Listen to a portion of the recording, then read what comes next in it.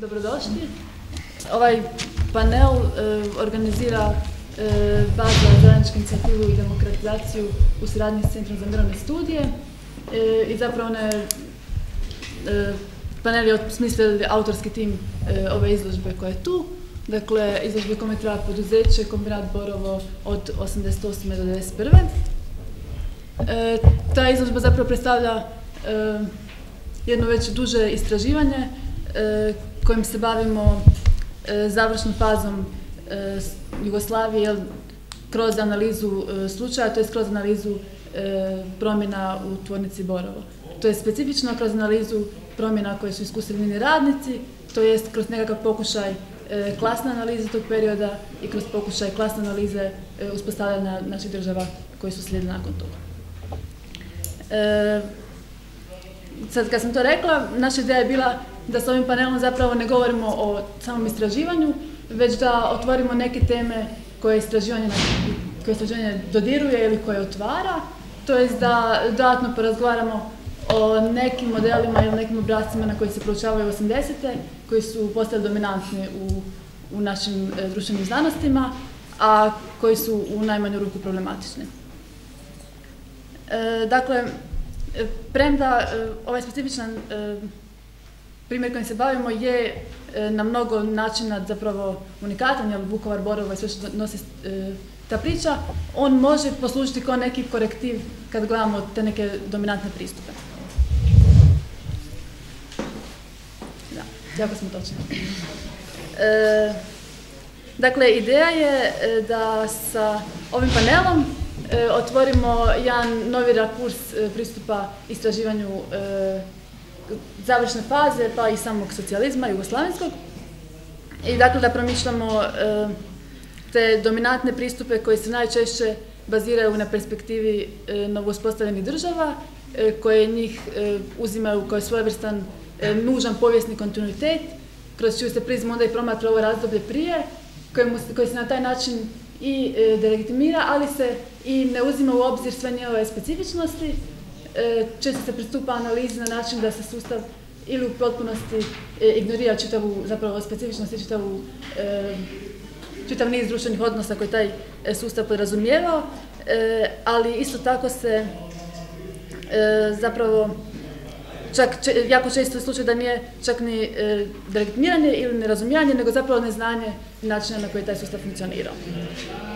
E, dakle, to je problematično naravno iz političke perspektive jer direktmira sve pokušaje da se na tom sustavu nešto gradi, ali je problematično iz istraživačke perspektive jer utječuje na on, propuste u, istraživanjima i propuste u istraživačkoj poziciji. E, dakle, mislimo da je bitno ono vratiti se na e, činjenicu da u centralnom principu organizacije društvenog života u socijalizmu nije bio taj etnički princip koji se, koji se nakladno upisuje, i u tom svjetlu dakle, ne možemo proučavati razdoblje e, koje je prethodni trenutak kada se taj etnički princip politizira. E, na kraju, e, uz taj moment fokusa na etničko, čini nam se jako bitno da se u velikom broju istraživanja, uz to što se, dakle, bavimo se nekakvim strategijama elite, nekakvim organiziranjem, ne znam, civilnog društva i nečeg drugog, dok se ekonomske promjene u jednom trenutku dese ili se E, ne znam koji su još izrazi, e, oslobađaju se stege i e, i dakle oni se na neki način u konačnici dolaze na pravi put, to jest realiziraju se u kapitalističkoj ekonomiji koje treba. Dakle, taj moment se dodatno ne problematizira. Dakle, na kraju, samo bih htjela reći zašto nam se čini da je ta, e, da sumiram, ta promjena rakursa, rakursa važna. Dakle, to je prvo da, da imamo e, obuhvatniju i produktivniju raspravu i povijesnu analizu e, raspada ili razgradnje socijalističke Jugoslavije, da bi prokazali zapravo to selektivno povijesno sjećanje i da bi prokazali to da uzimanje etniciteta kao ključa, ključne odrednice društvenog, društvenih odnosa u Jugoslaviji je e, selektivno povijesno sjećanje, ali naravno da bi uopće mogli propitivati e, našu kapitalističku sadašnjost, e, nužno je pri bilo kojem promišljanju izgradnje nekakvih alternativa da ne ignoriramo vlastito, vlastito povijest, vlastito povijesno iskustvo. I pritom, dakle, razumijevanje organizacije, razumijevanje socijalističkog iskustva, naravno i uvjeta njegovog raspada je nužno da bi uopće o tome mogli razgovarati. Dakle, ono što je nakon svega toga dobra vijest je da se posljednjih nekoliko godina u ovom smjeru rade značajni pomaci i da postoji cijeli niž istraživanja koji uzimaju sve ove neke zamjerke u obzir. I dakle otvara se jedno ono, zapravo širi se prostor u kojem, to, kojem se društvene znanosti bave e, fazom dezintegracije Jugoslavije i pomiču se sa tih nekakvih strategija elita i sa tog nekog momenta radnog ratnog stradanja. E, dakle, izlagači koji su večeras tu, e, Paul Staps sa e, Ekonomskog instituta u Zagrebu, Danijela Dolenic sa Fakulteta političkih znanosti i Marko Grdičić sa Fakulteta političkih znanosti. Svojim radom predstavljaju jedan od pomaka, način na koji se može to ponovno promišljati i jedan odmak od dosadašnjih dominantnih narativa. I zapravo njihova istraživanja vidimo kao vrijedan doprinos i vrijednu počnu točku za, za daljne istraživanja. E, dakle, redom e, Daniela će govoriti o transformaciji akademskog polja i e, konstituciji disciplina društvenih, društvenih znanosti od socijalističke Jugoslavije prema Hrvatskoj. Znači, mislim da, da će izlaganje dati okvir i za razumijevanje legitimacije društvenih promjena koje se odvijaju tu unutar društvenih znanosti, ali i nekakav okvir za E, razumijevanje posljedatnog fokusa, za razumijevanje zašto se nekim problemima uopće nismo bavili. E, ja ću samo ukratko predstaviti, pa može da redom svi predstavim, pa da poslije samo izlaganje za izlaganje. Može? E, Staps će govoriti o povratku u socijalističkom iskustvu kao predmetu analize i specifičnije povratku e, klasnoj analizi. vjerojatno ste neke od vas vidjeli ili pročitali ili imali priliku susreti se sa zbornikom uh, Social Inequalities and Discontent in Yugoslav Socialism, koji je uredio skupa sa Rory Marcherom i Igorom Dudom.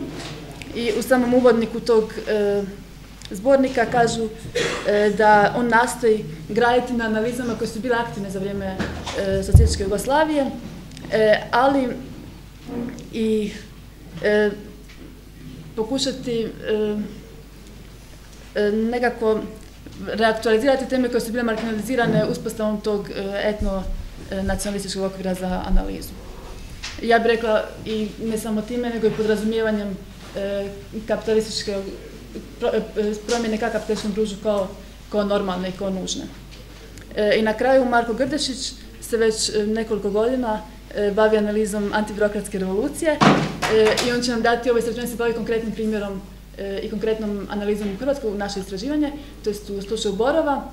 E, on se u svojom analizi e, bavio antibirokratskom revolucijom i zapravo daje uvid u cijeli niz specifičnosti koje unatoč ovim nekim problemima koji jesu zajednički, jesu trebamo im pristupiti kao, kao paradigmatskim.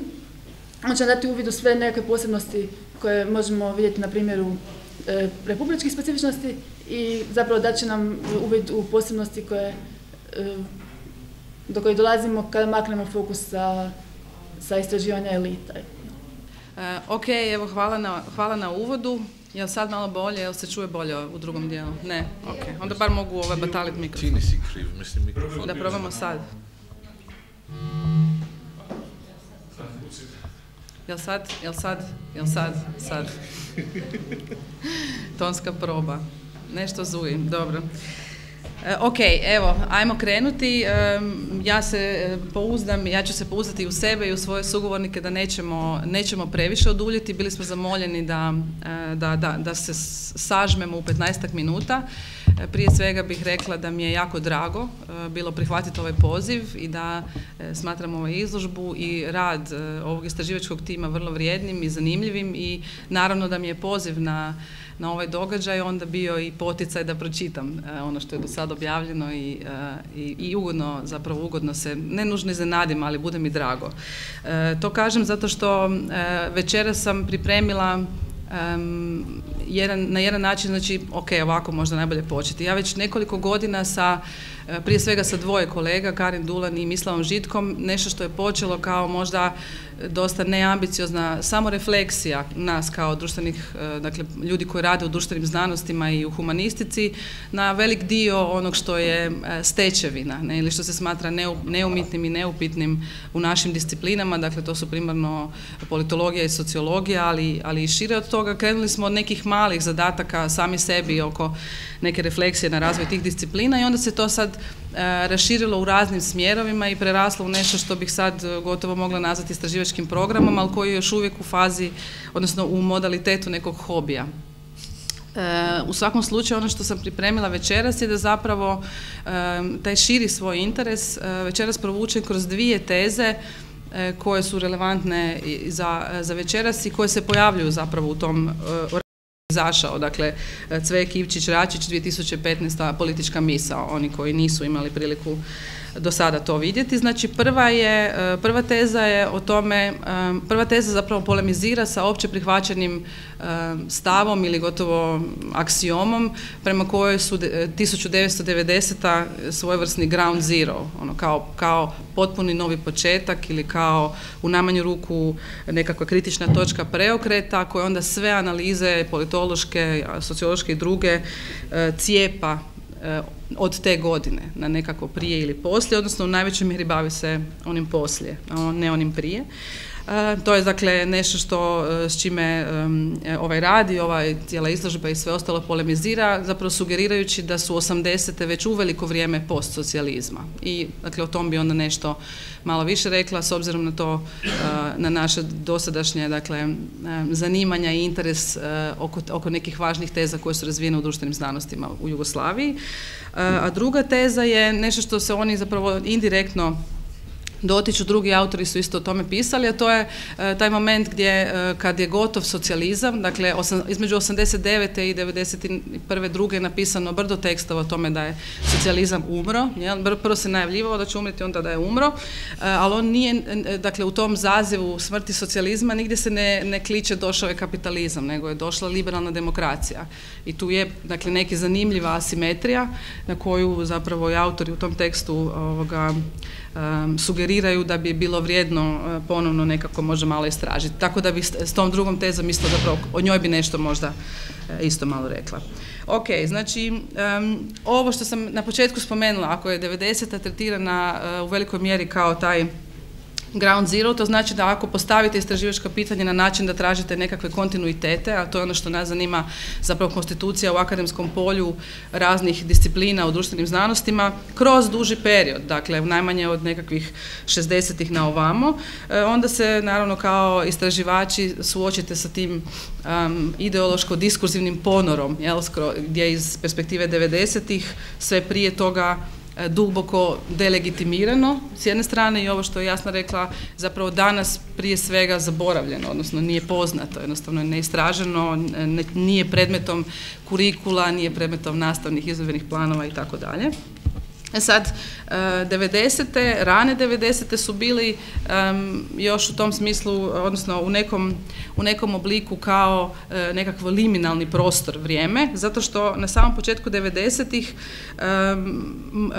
pripadnici akademskog polja morali su, Mirjana Kasapović je to nazvala življenom kontradikcijom, morali su u jednoj rečenici izjaviti da ovo do jučer je bio ono crni mrak, dakle prostor nekakve e, akademske neslobode, partijska škola i tako dalje, znači time onda davajući legitimitet novom sustavu, a zapravo ono ne, ne udahnuši u nastavku te iste rečenice su morali tvrditi i da nije tako jer ako, ako nisu konstituirane discipline u društvenim znanostima prije 90-ih, kako onda obrazložiti sve institucije koje postoje, programe, e, plaće i tako dalje. Tako da je na samom početku 90-ih zapravo i to je nešto čim smo se bavili u jednim od radova.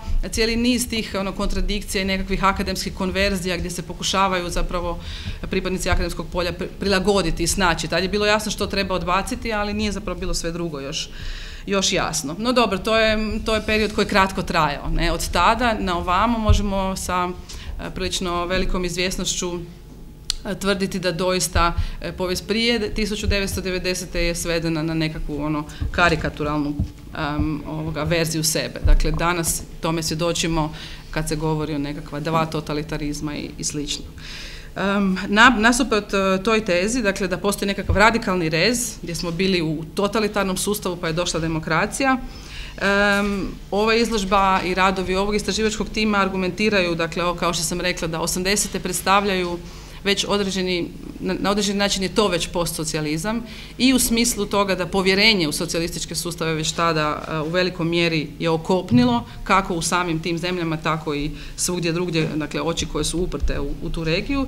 I još važnije zapravo u njihovom radu da, je, da su u 80. napravljeni već i ključni pomaci programski, dakle zakonodavni i drugi, ka transformaciji Jugoslavije u smjeru kapitalizma.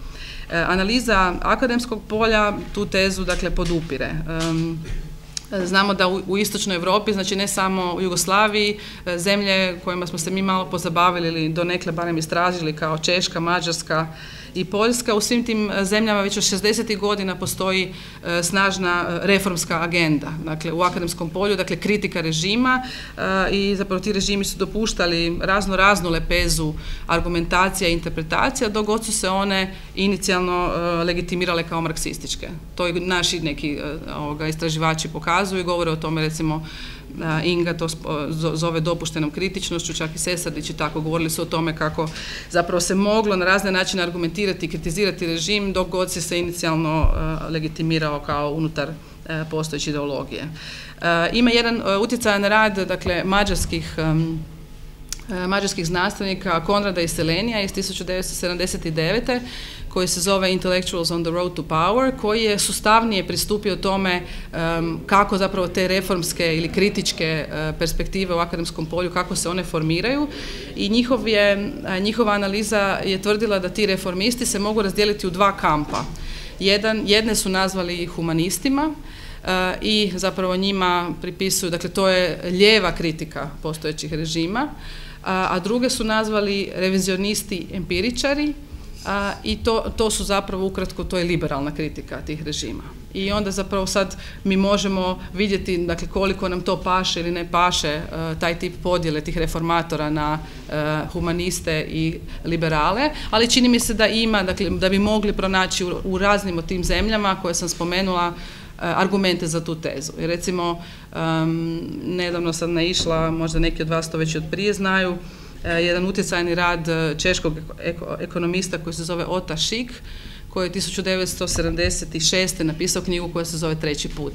O tome bi se, dakle, o genealogiji, genezi tog pojma gdje je on završio bi se dalo imati, e, naravno, zanimljivo izlaganje, to sad nećemo, ali on, dakle, Ota Šik je primjer te, dakle, kao reformističke, humanističke struje, dakle, koja s lijeve, iz lijeve perspektive kritizira tadašnje, nazovimo ih, real socijalizme. I ko, dakle, on ima sličan argument kao i Branko Horvat i drugi koji, koji kažu da to što tad on gleda u Češkoj, odnosno to što mi tad gledamo u Jugoslaviji nije da je to ili državni kapitalizam ili etatizam ili već neki drugi pojam, ali sigurno nije socijalizam. I onda oni govore o tome što bi socijalizam bio i, i tu jako veliku ulogu daju dakle samoupravljanju, ekonomskoj demokraciji kako bi danas nazvali i slično.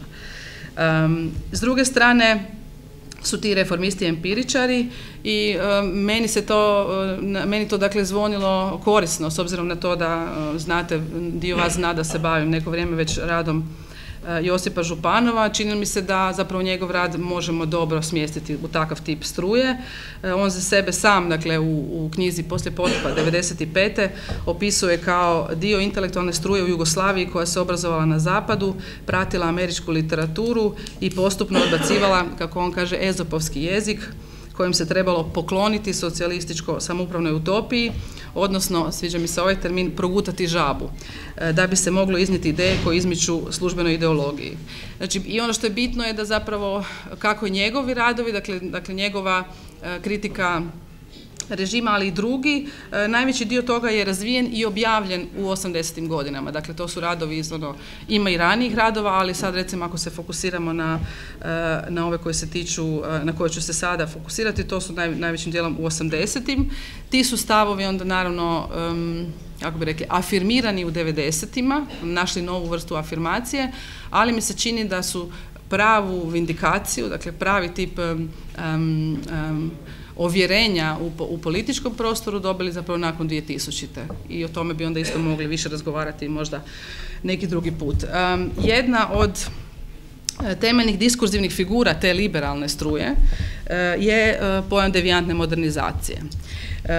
Prema Županovu u komunističkoj Hrvatskoj postignuta je svojevrsna, on je to zvao materijalna modernizacija, znači misli se na industrializaciju, urbanizaciju, podjelu rada, rast životnog standarda i tako dalje, ali, citiram, politička kultura bila je i ostala mješavina seljačkog egalitarizma i plemenskog autoritarizma. S takvim vrijednosnim sustavom, citiram, cjelokupni se socijalistički projekt može shvatiti kao velika povijesna aberacija na putu modernizacije. I sad nešto ću malo reći, dakle taj teza e, i njene razne izvedenice o tome da, da to što smo mi doživjeli je jedan, jedno krivo skretanje u nekakvu aberantnu e, modernizaciju jako utjecajna, samo bi prije toga mali napravila malu zagradu, jedan mali ekskurs koji, dakle to je još jedan moj hobi koji sam nazvala CSI za knjiške moljce, dakle to je jedna vrst tekstualne forenzike. E, negdje u jednom od kasnijih radova Županov kaže da za tu ideju, dakle koja suprotstavlja materijalnoj, materijalnu kulturnoj modernizaciji, da je to zapravo, to kreditira Latin Kuperović i kaže to je Latin Kuperović u svojim radovima iz sredine 60-ih spomenula. Ona to e, naziva modernizacija bez modernosti. Tako kod nje izgleda ta sintagma. A onda pak i tu ulazi ovaj moment forenzike.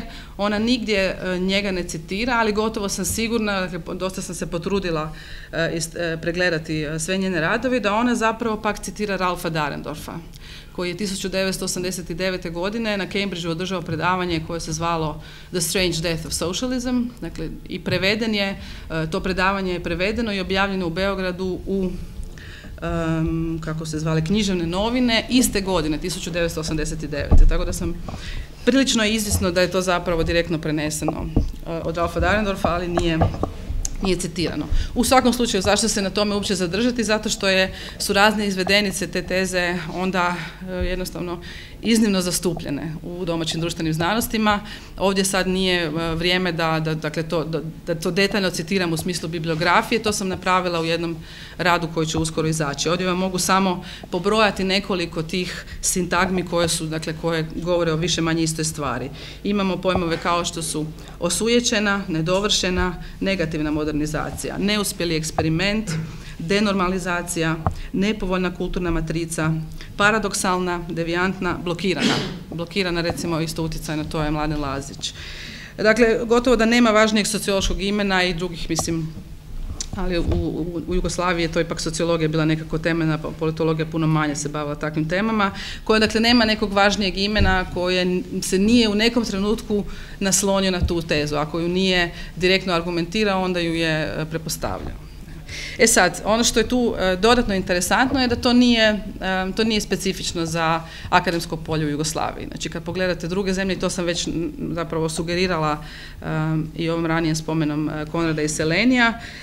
Konrad i Selenije nakon što razdijele reformske struje na humaniste i liberale, argumentiraju istu stvar. Kažu da ti, kako ih oni zovu revizionisti i empiričari, zapravo razvijaju vrlo slične teze o tome da ako je to Mađarska, da onda to neka opet nepotpuna ili nedovršena modernizacija, odnosno neka, nekad se pojavljuju i metafore loše kopije, dakle na razne načine je to neki tip usporedbe sa Zapadom kao, kao modelom. Postoji i novi, puno novi rad iz 2015. Gagi Eber koji e, kaže da u Mađarskoj postoji takozvana, e, kako oni to kažu, gesta dvostrukosti. E, dakle, promatranje mađarskog društva kroz zapadnjački obrazac u odnosu na koji se mnoge karakteristike percipiraju kao zaostalost.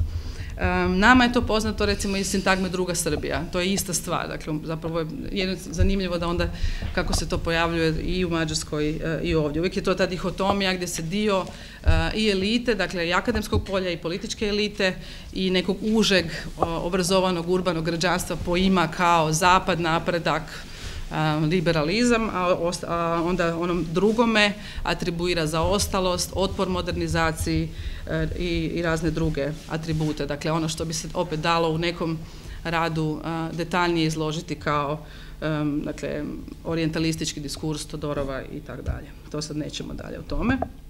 Znači, da to sumiram, e, akademsko polje na, na, na toj nekoj periferiji ovoga, ili poluperiferiji kako hoćemo, e, bolje ćemo zahvatiti, bolje ćemo razumjeti kako funkcionira ukoliko uzmemo u obzir da se ono strukturira kroz svoj odnos prema prema zapadu. Dakle, to su, ima i poljske kolege koji su se e, time bavili i ovdje bi još samo napomenula da tome zapravo gdje, zašto je to tako, može, može biti puno razloga i vrijedi također za sebe istraživati, ali jedan od razloga je zato što su zapravo to već takva orientalističke premise su u samom temelju modernizacijske teorije.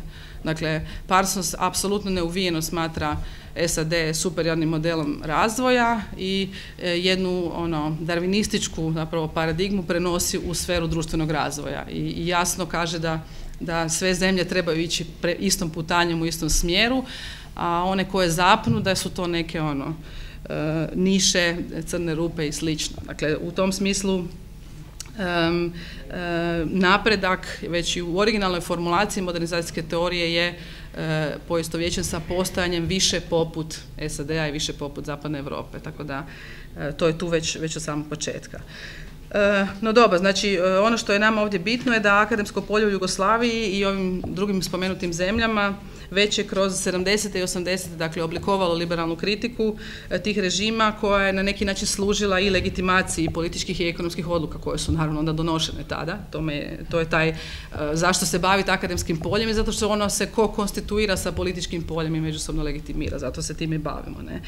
I ono što je tu možda zanimljivo, nadam se da je vama zanimljivo, je da ta, e, dakle, nešto što je liberalna kritika i što je zagovor neumitne potrebe za ekonomskom liberalizacijom, odnosno dakle za kretanje prema nekakvom kapitalističkom sustavu, je zapravo kroz ove figure koje sam sad pokazala zaogrnuto kulturološkim argumentom. Ne? Zapravo je zagovor ekonomskih, ekonomskog liberalizma zaogrnut um, ono, mantilom zapada, modernizacije, civilizacije, napretka i tako dalje, što ga čini naravno puno moćnijim i puno težim za oponirati. Ne? I zato nam je možda, jedan od razloga zašto nam je možda duže trebalo. Ne? Dobro, i onda znači sad to je, to je bilo ovo, to je prva i druga teza je kraća, imam još, još par minuta, nadam se da nisam puno e, negdje pretrčala.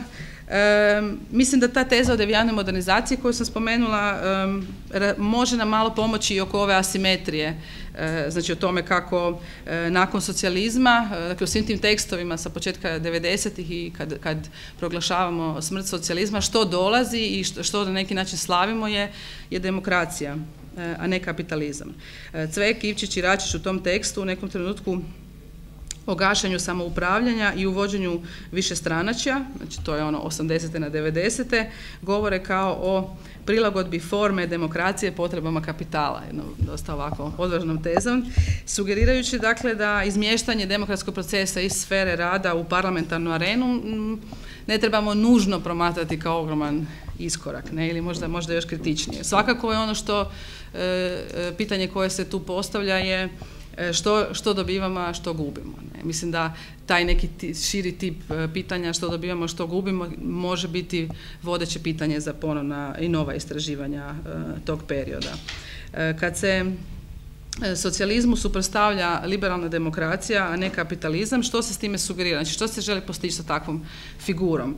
Pa sugerira se da ćemo zamijeniti autoritarni poredak s demokratskim, da ćemo, dakle, skinuti neke okove, ne? I tu je bitna ova devijantna modernizacijska putanja, jer prema Županovu i drugima, dakle, e, Županov je jako e, dobar predmet analizer je puno pisao i po meni jako dobro zapravo i sumirao i interpretirao ono što su bili glavne rasprave njegovog vremena, tako da se, da se na njega često vraćamo. Ali jedan od glavnih objašnjenja zašto ta devijantna modernizacijska putanja e, opstaje je po njemu bila zbog tog, on je to zvao klasnog kompromisa, dakle kompromisa ili ti dogovora između političke elite i radništva u kojoj su radnici dobili egzistencijalnu sigurnost, a elita podršku za režim. To je teza koja se puno i drugdje svuda pojavlja, ali nama je sad ovdje bitna zato što dakle, radnici zapravo ekonomsku sigurnost plaćaju političkom slobodom. To je kao ideja, a rezultat je onda devijantan sustav i zato se on reproducira. A, u tome je naravno problem. I sad, što se na prvoj razini iz te teze sugerira, da, kao, koje je rješenje? Pa rješenje je onda više političke slobode. To je kao zagovor demokracije, pluralizma, više stranačje, svega ostalog. To je, ali ja, ja bi zapravo se usudila tvrditi da je to tobožnji zagovor demokracije jer e, srž liberalne kritike je e, zapravo usmjeren na neefikasnost e, jugoslavenskog ekonomskog sustava, odnosno srž te kritike je u tome da se taj sustav nedovoljno oslanja na ekspertizu, na znanje, na stručnjake. Dakle, radi se prvenstveno o zagovoru meritokracije a ne demokracije. I tu postoje bitne implikacije o kojima se isto može više reći. To je posebno vidljivo e, u jednom tekstu njegovom Županovljevom, dakle koji je objavljen u ekonomiki 84 gdje on znači kaže ok, ovo sa e, tim nesposobnim političkim elitama i fizičkim, fizičkim radnicima, to je klijentelistički odnos e, i tako dalje. I to onda kontrastira sa SAD-om gdje kaže društvo oblikuje koalicije između vlasnika kapitala i znanosti. Dakle, to je, to je ta druga kombinacija, meritokracija i, i, i kapital. I odnosno znanost u takvim sustavima kapitalu osigurava legitimaciju. E, stoga, dakle, možemo reći da za transformaciju vođenu ekspertizom demokracija je tu ili nevažna ili može čak biti problem. E, politolozima, ako ima ovdje, ima nekih politologa, e, bit će poznata ta sintagma s početka 90-ih, e, dilema simultanosti to je još jedan od tih ono, ovoga, formulacija koja koja zapravo e, ima više slojeva, ona ide otprilike ovako. Na početku 90-ih ekonomski, dakle ekonomske reforme, liberalizacija, deregulacija, privatizacija i tako dalje, to je neupitno i neizbježno, mora se dogoditi, to će donijeti tada se tvrdilo privremenu dolinu suza, dakle pašće životni standard, stvorit će se nove društvene skupine gubitnika i malo je zeznuto istovremeno da oni imaju pravo glasa. Ne? Jer kao mogli bi zaustaviti te, te neupitne i ono, nužno potrebne ekonomske transformacije. To je, dakle, još jedan, samo ilustriram, dakle, to su e, formulacije koje e, su inicijalno upakirane u demokratizaciju, zapravo kad ih malo raspakirate vidite da nemaju puno puno s time veze. E, e, no, s obzirom na to da ne možemo zazor od demokracije e, to nije poruka koju možete otvoreno poslati, onda se pribjegava raznim liberalnim tim, raznim tim figurama koje sam izložila. Jedna s kojom bi završila je česta argumentacija prema kojoj su jednakost i sloboda međusobno isključive. Eh, Wendy Brown to zove uh, Philipsovom krivoljom političke filozofije. Ne? A to je, to je ovo što smo sad malo prije ilustrirali kroz Županova, kad on kaže klasni kompromis, dobio se ekonomske sigurnost, a izgubio se slobodu. Znači, to je figura koja tvrdi da jedno i drugo nije moguće istovremeno postići. Kako, kako da to ima smisla? Pa tako da prvo jednakost svedete eh, napravite ono karikaturalnu redukciju na uravnilovku, kažete da je to to, da je zapravo nekakav sustav u kojem se ujednačavamo prema dolje, koji je lose-lose, ali u kojem ipak gube najviše oni koji su najsposobniji, dakle onaj meritokratski model, a onda uz to vežete, dakle drugi dio u kojem kažete e, u takvom sustavu je nužna nesloboda, jer ko bi slobodno birao ovoga, ako je sposoban i, ima vještine da, da bude u takvom sustavu. dakle, kariku, to, rekla da je to karikaturalna redukcija pojma jednakosti, a nju slijedi i zapravo karikaturalna redukcija pojma slobode, ali o njoj se ne govori. Ne?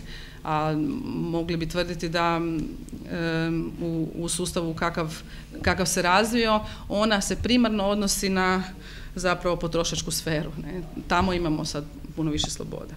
Dakle, kako su, sugeriraju Cveki, Ivčić i Račić, u Jugoslaviji smo imali mogućnost utjecaja na mjestu e, koje doista određuje naše životne šanse, dakle na radnom mjestu, a to je zamijenjeno političkim izborom u više stranačju, za koju se s vremenom pokazuje da ima vrlo male male ili nikakve utjecaje na naše životne šanse. I u tom smislu e, mislim da je vrlo vrijedno ponovno kritički ispitivati što smo dobili i što smo izgubili.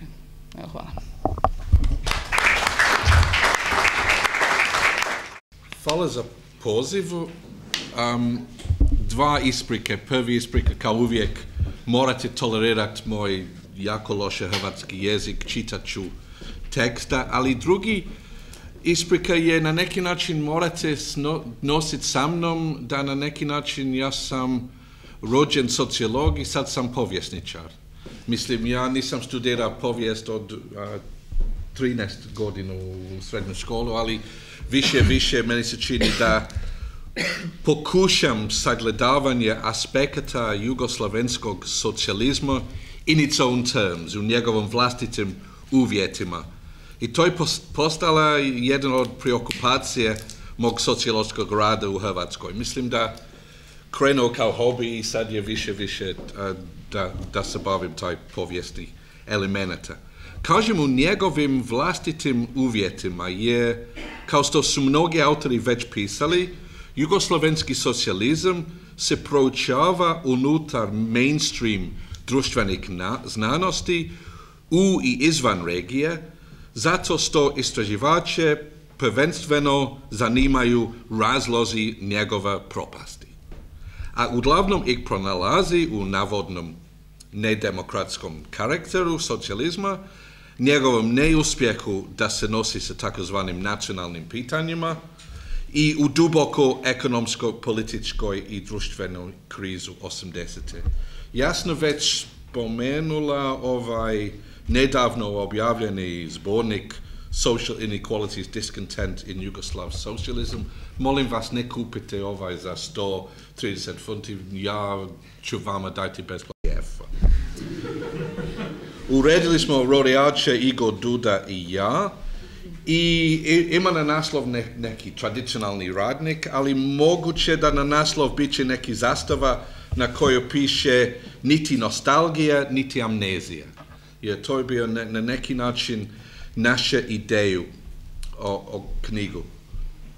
Svatko ko ozbiljno proučava SFRJ u 80 ostaju usupnot širinom i višedimenzionalnošću krize, koji je nemoguće ignorirati.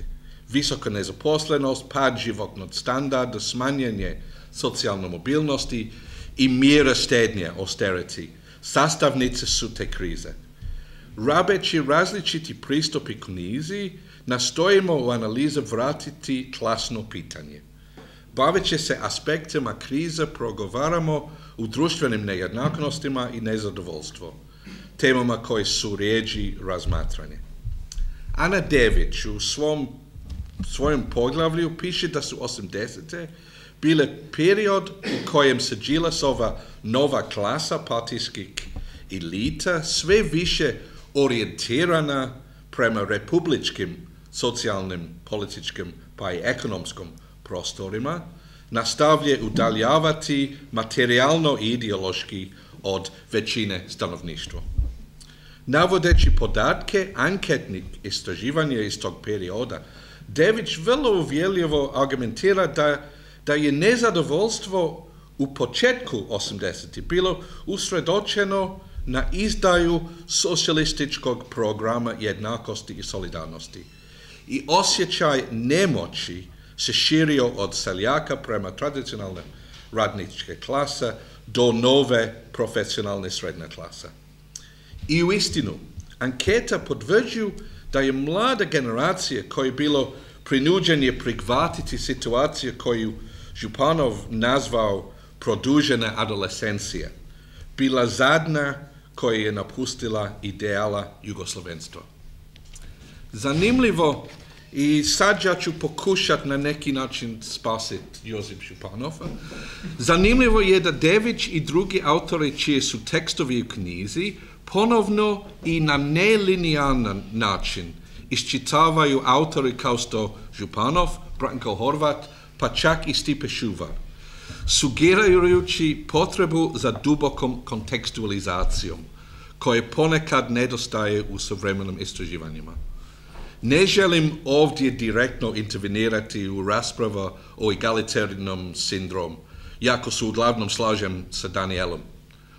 Ona je, čini mi se, okrila nevjerojatno konservativizam mnogi današnjih sociologa koji odbiju mogućnost mnogostrukih čitanja županov.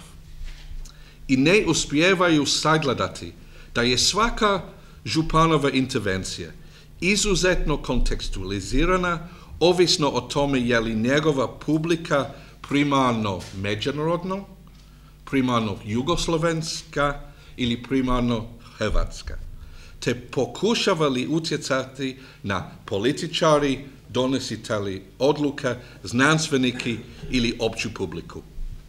Stoga knjigu argumentira potrebu epistemološki sensitiviznosti za uvjeti u kojem se proizvodi znanje.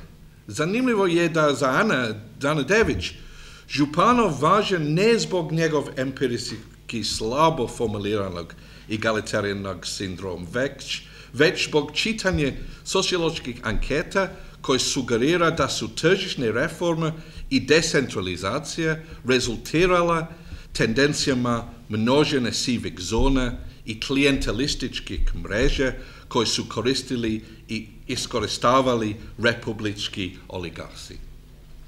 Poznato je upozorenje Branka Horvata da je tržišni socijalizam pojačao regionalni nejednaknosti među običnim ljudima i istovremeno je izjednačio privilegije elita po republikama i autonomnim pokrajima. Branko je eh, radio neke vreme u Kosovo i može se dodati da su ih uveli bez obzira na sposobnost upravljanja ekonomijom. Mislim, i tu se slažem sa Danielom i Mislovom Žitkom, da su aspekti jugoslovenskog eksperimenta, a posebica onaj kojeg smo u knjizi nazvali refleksivno samoupravljanje, a koji se bavi jako ponekad samo teoretski, egalitarnijem oblicima društvene reprodukcije, te originalni treći put pokreta nevrstanik koji niti nije niti Mosko, Moskva ni Washington. Izuzetno relevantni za artikulacija pozicija nove levice u trenutnoj konstelaciji. Osim toga, za suvremene rasprava o socijalističkim alternativama izuzetno su važni načine na koji su intelektualci tog periodi, perioda govorili o jazu. U knjigu mi ga zovemo kazum, veliki jaz, ponor, između socijalističke teorije i prakse. U proslom desetljeću smo svjedočili obnovljijem interesu društvenih znanosti i historiografija, historiografija za sve aspekte jugoslovenskog socijalizma. Evo vidi koliko ljudi su ovdje danas. Ti narativi predstavljaju izazov amnezija iz 90 ili samo uh, censura možda bolje uh, zove, te su puno uravnoteženi nego prilično ekonomistički, deterministički prvi val analiza i intervencija inspiriranih uglavnom ortodoksnim čitanjem i učitavanjem Marksa. Svako koji je sudjelovao na jednoj ili dvije konferencije socijalizam na klupi koji je organizirao Centar za kulturološki i povijesni istraživanje socijalizmu u Puli. Prvi bio 2013. i drugi 2015. bit će treći idući godinu. Ostaju možda manje ili više iznenađen činjenicom da je to brzo rastuće područje znanstvenog rada koje sve više privlači mladi istraživači koji nikad direktno nisu iskusili jugoslovenski socijalizam. Ponekad mislim da radovi prezentirani na konferencije uz, uz važne izuzetke spadaju u jednu od četiri grupe ili stupe. Možemo vratiti na tome u, u, u diskusiju, ali ja, ja ću vrlo, vrlo uh, brzo uh, daj neki uh, naslov te četiri stupe.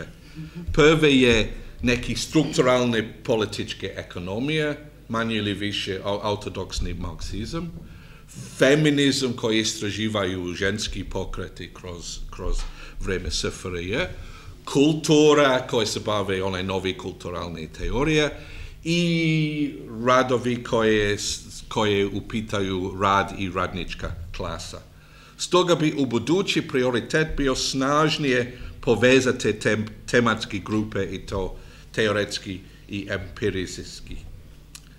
Razmišljajući o tome što reći danas, inspiriram ovom prekrasnom izložbom i širom projektom i neki razgovor sa Jasnom, sa Jasnom. Želio bi reći nešto o tome da li su i zašto neki od tema iz vremena socijalizma. Uvijek da sam ovdje moram govoriti o civilnom društvu, meni se čini. I posebno civilno društvo je jedno od te tema i društveni pokreti, aktivizam, 80. Da te teme su vrlo dokumentirani, istraženi i na široke se u njima raspravlja. Dok su druge tema, naročito radnička borba, ostala, ostale nedovoljno istraženje. Ok, sad ja ću biti deterministički marksista. Prvi pomiša, pomisao mi je bilo da su keotični uvjeti kasnih 80.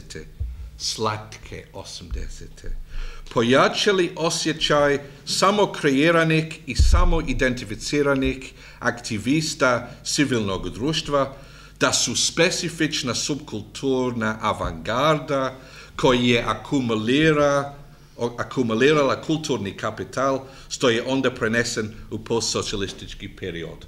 Onda ima uh, menadžeri koji može prenesti kulturalni i materijalni uh, kapital od jednog do drugi, ima aktivisti unutar taj tema civilno društvo. U tom kontekstu činilo se da liberalno civilno društvo ima malo ili uopće nema dodirnih točaka sa radničkim pitanjima. To je naravno i pojednostavljeno i determinističko objašnjenje. No, ipak mislim da su interesi novog vala jugoslovenskih sociologa i antropologa ne oni empiricistički orijentirani, nego oni novi, novi val koji, koji se bavi više kulturalne teorije u 80. više bili usmjereni prema subkulturama i marginalcima. Onim elementima društva sa kojima su sami dijelili niz karakteristika, više nego prema tradicionalno radničkoj klasi.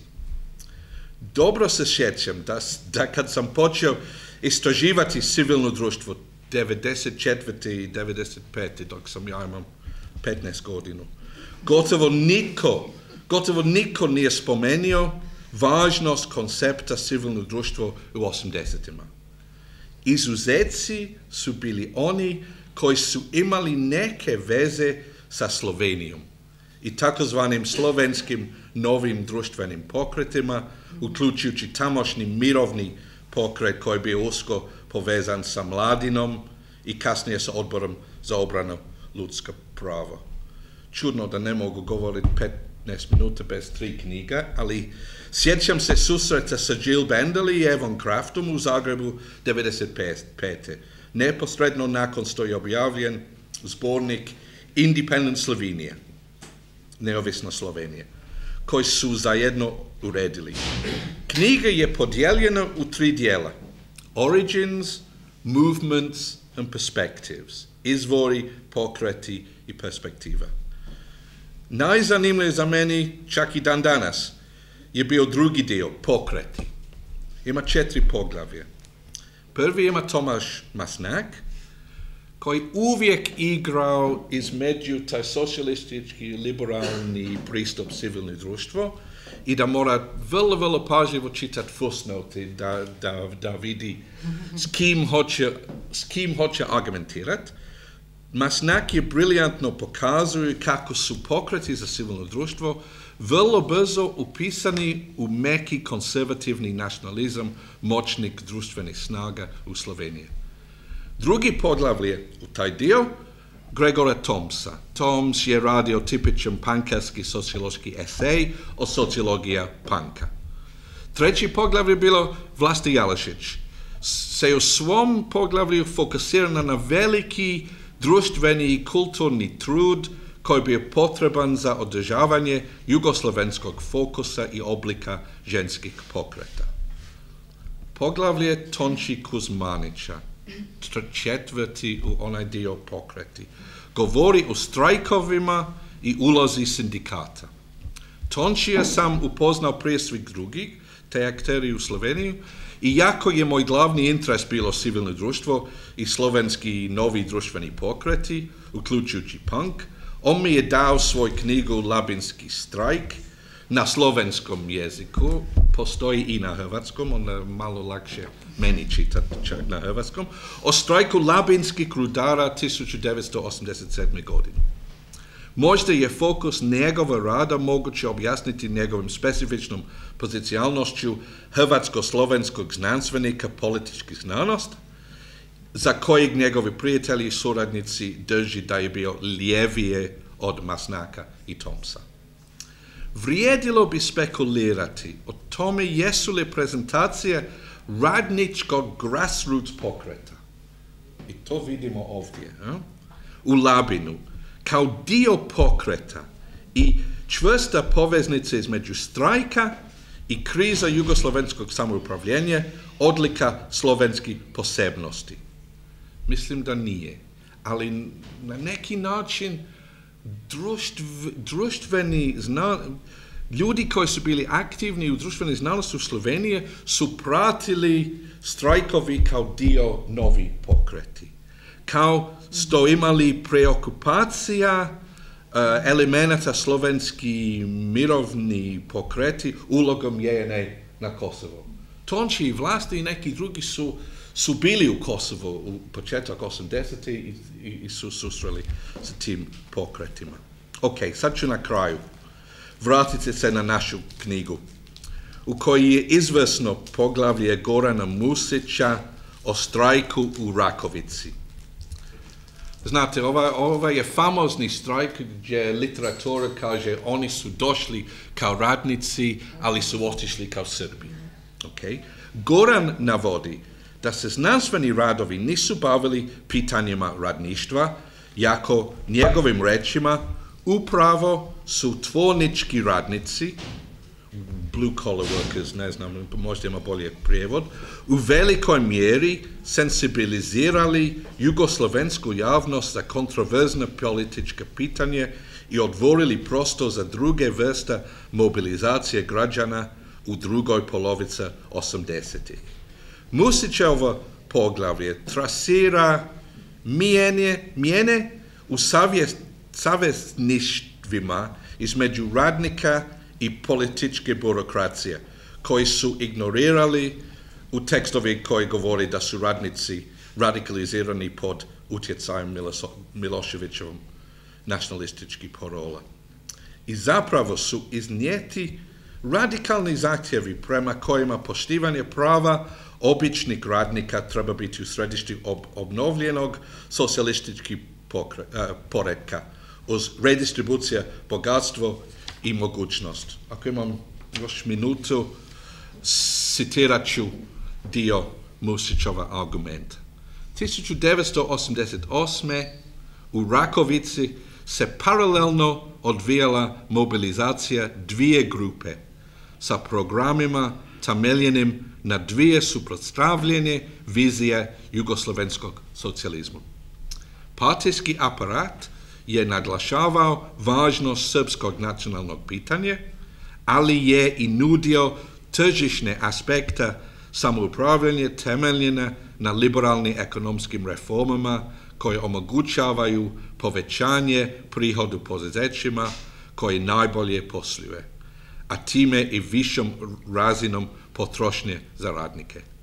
Drugi organizirani politički akter je bio lokalni sindikat sa programom temeljenim na borbi protiv sve većih socijalnih nejednaknosti i za sosnažiti politički glas radnika. Ovaj zvuči malo patetika da na neki način ja vratim na neki herojski ideje o, o grassroots radnička klasa, ali obnavljanje ovog drugog tipa mobilizacije u cijeloj kasnoj fazi socijalističke Jugoslavije meni se čini izuzetno važno u sadašnji konstelacije događaju u kojem svedoči ova izložba i projekt. Hvala.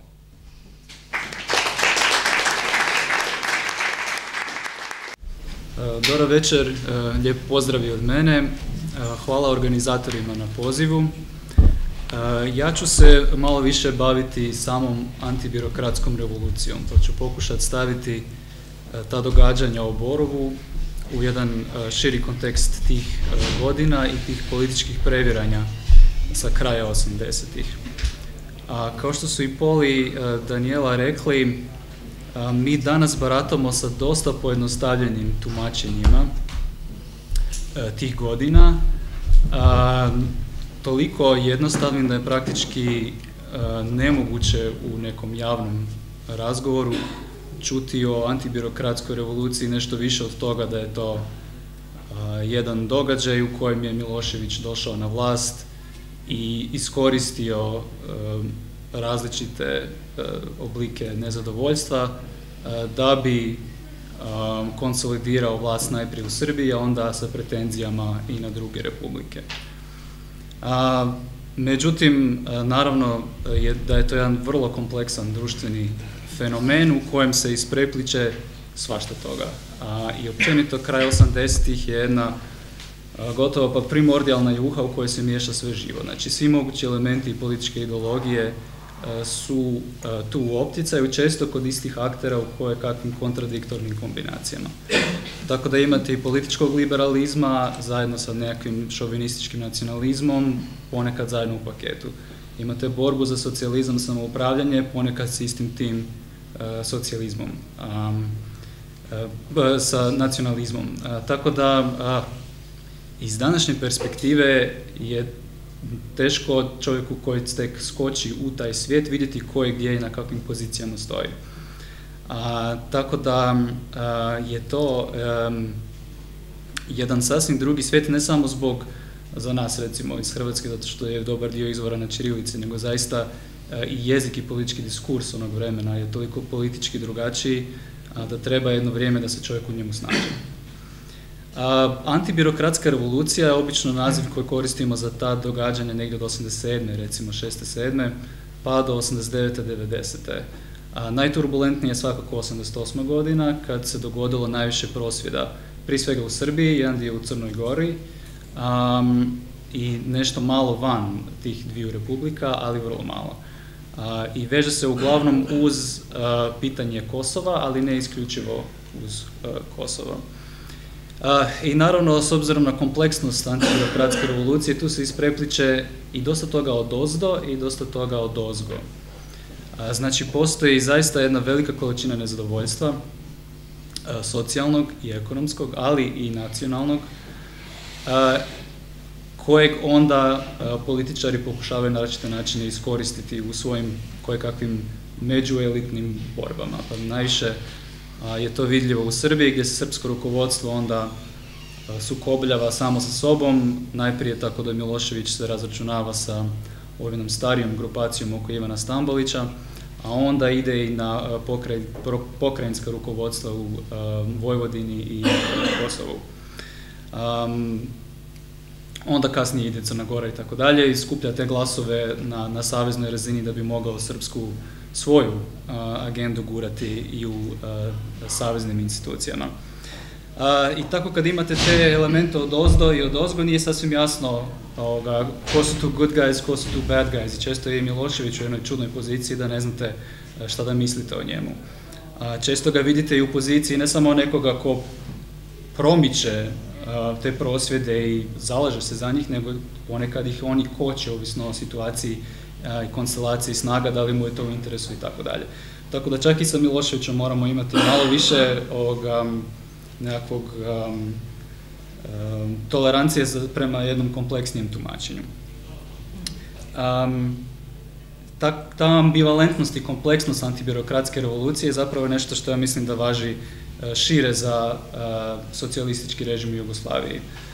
Znači, kao što postoji plusevi, tako, tako postoje i minusevi. I ovo što je Paul rekao, važno je e, pristupiti toj povijesti na način da nemamo niti nostalgiju, niti amneziju. Znači, da se borimo i protiv ovog potpunog zatopljivanja crno-bijelog tretmana tog perioda, i protiv toga da sve što je socijalističko, lijevo i tako dalje vidimo kao nešto pozitivno.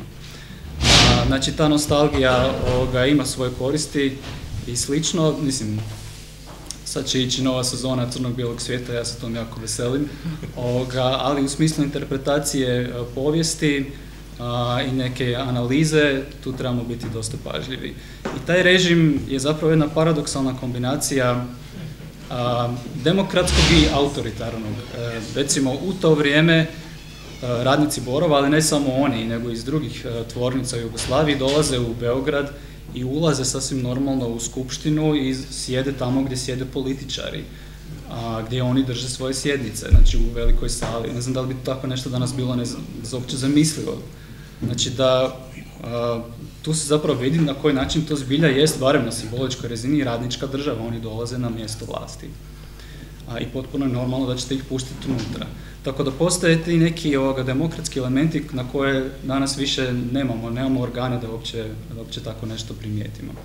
Ali istovremeno je to bez sumnje autoritarni režim i ti ljudi koji idu u prosvjede tada se zaista boje da će biti represije, da će biti političkih konsekvencija, da će biti konsekvencije na poslu, jer u ostalom često je i znalo biti. Znači, recimo Tonči Kuzmanić to evidentira što se događalo a, sa takozvanim bunđijama i slično koji su kao kretali u neke štrajkove, oni obično ne bi baš dobro prolazili na svom radnom mjestu. Znači imali, ili bi ih se prebacilo negdje gdje, nije tako, gdje je teži posao ili bi se u ekstremnim um, slučajevima uh, bi im se dalo otkaz. Prema tome, um, to jest jedan autoritarni režim i zapravo se jako sporo um, diže ta tolerancija spram prosvjeda. U 80, 86. 87.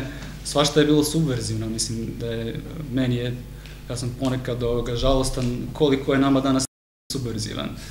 Jer svašta um, poguglali smo na neki način na te stvari. U ono vrijeme je bilo mnogo lakše biti subverzivan, ali naravno je to onda povlačilo i neke posljedice da se čovjek izložio riziku neke, nekog oblika političke represije.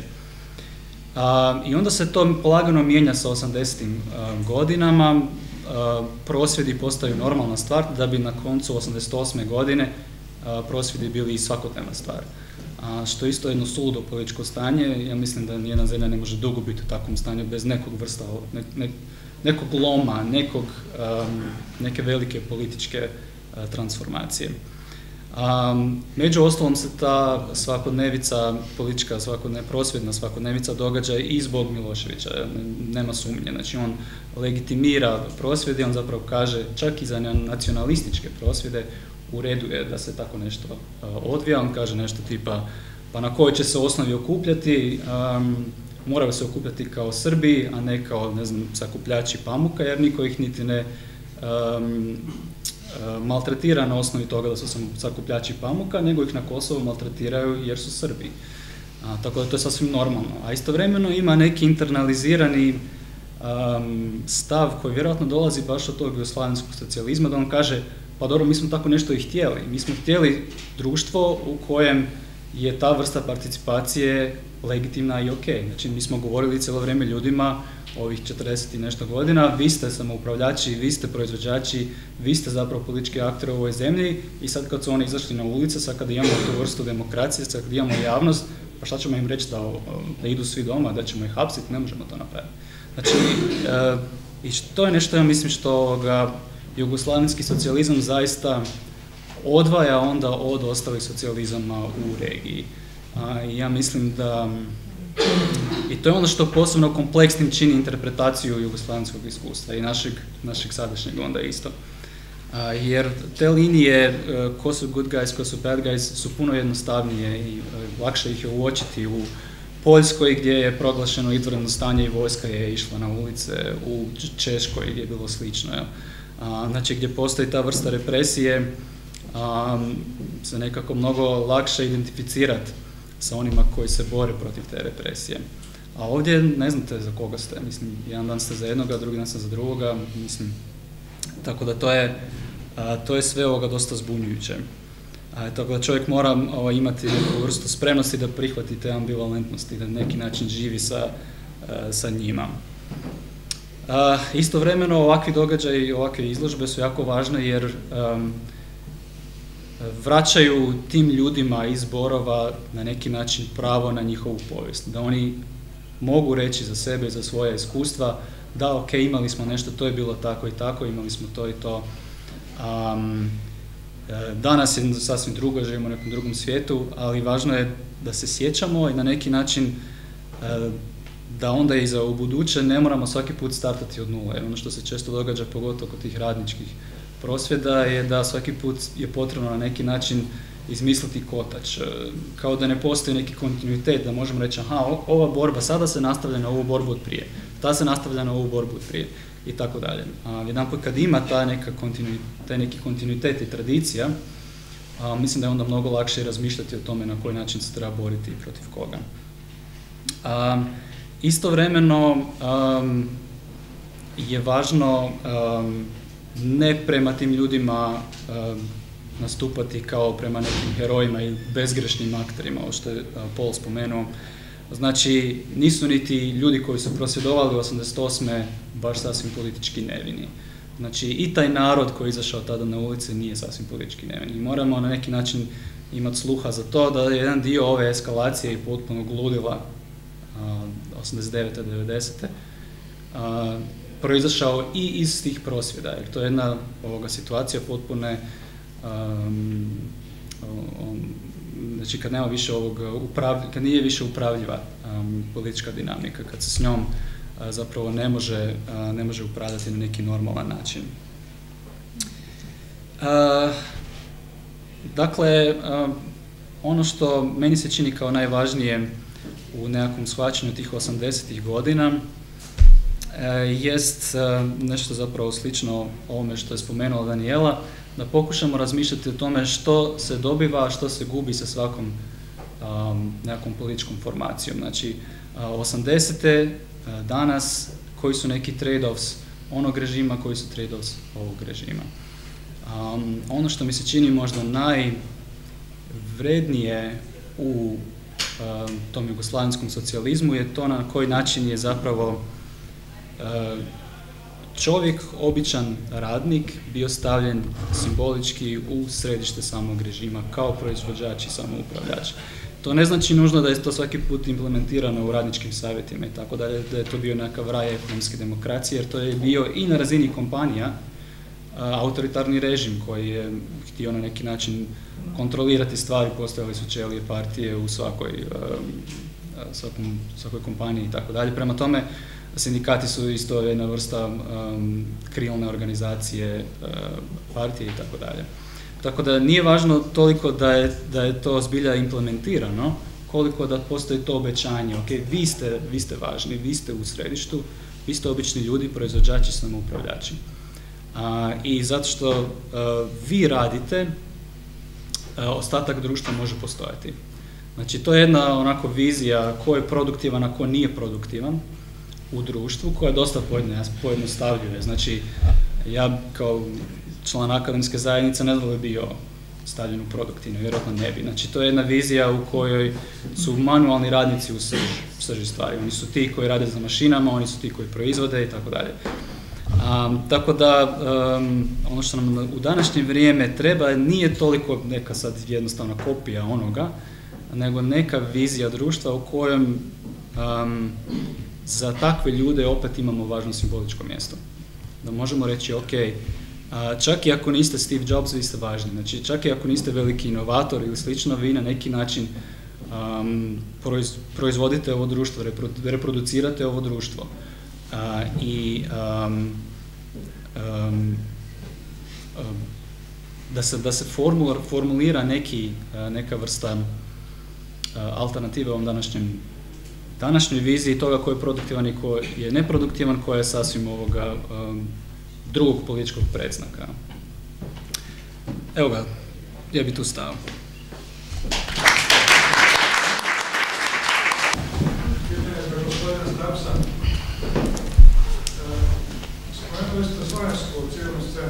Da. To je jedna priča. Naime, ja ne znam što je bio Da, da. Isto tako, Edward Holmes, jedan od četvorice Refeča, partija Apokalipse koje smo spomenuli, dao je prije nekoliko mjeseci jedan intervju za delo, gdje je ekipu koja je izvodila cukrarnu u Sloveniji, ne znam koliko je poznat taj slučaj. Ne rok. Rok. Rok, da, da. Znači, to je jedan spot koji Ljubljana želi komercializirati kao grad, Profesor Thompson, on je mislim profesor na sociologiji, filozofiji, on, on je za tu komercijalizaciju protiv tih ljudi, on ih smatra um, trolerom 68. revolucije, ne znam, to je užas tamo Da. prvom krilu, Da, da. Da. Uglavnom, gospođa Balanica je spomenula devijaciju. Znači, ovaj komentar, objasnite mi, je li takva civilna scena potrebna ili je zapravo to jedna devijacija? Skupimo.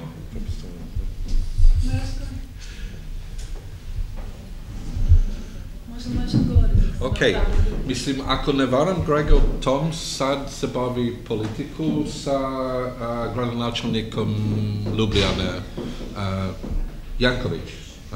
On, on je u istu uh, stranku, ali gledajte, mislim, meni se čini da mi možemo izbjegavati od devijantno i nedevijantno uh, uh, binarne opozicije, ali možemo, kao, kao Marko govorio o, o jugoslovenski exceptionalizam, mi možemo govoriti o slovenski exceptionalizam, jer stvarno, ok, ovaj možda malo više, ovaj nije baš evidence-based sociologija, ali ako gledaš slike, onaj slovenski disidenti u 80.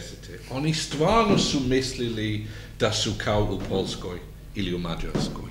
Oni su stvarno mislili da oni su avangardni heroji koji ne podijeljuju jednu ideološki poziciju, ali da oni su protiv o, o, o, ovaj totalitarijanski režim. To je totalno bilo čudno, jer kao Marko rekao, oni su bili on, oni su uvijek imali ambivalentnu poziciju unutra. Onda Janša je bila, Janša je bio grupa ljudi koji zbog onaj anti-JNA poziciju su bili u jednom momentu unutra jednu grupa ljudi koji su sebi zvao, zvao disidenti. Onda opet moramo duboko kontekstualizirati stvari i ja ho- hoću reći samo da na neki način meni se čini i, i naravno bila ona, bila ona linije uh, Ljubljana, Zagreb još uvijek je samo 100 km, mislim u 80 je bilo i samo 100 km dalje Ljubljana od Zagreba, onda bilo neki razmjene i ljudi i ljudi su došli ovdje studirati i tako dalje, ali taj, jugos, taj slovenski exceptionalizam, meni se čini, je onda više, više duboko ambivalentno kao Marko je govorio. Onda jako teško kaže on je bio tak, tako i mislim Žižek je bio unutra taj grupa, onda to je dovoljno spomenut, meni se čini. Al, ali po meni, ok, osim činjenice da ženski pokret u Jugoslaveni, u, SFRJ su do dan danas rekreirali i su, su pokušali imati taj fokus u cijeli Jugoslavije.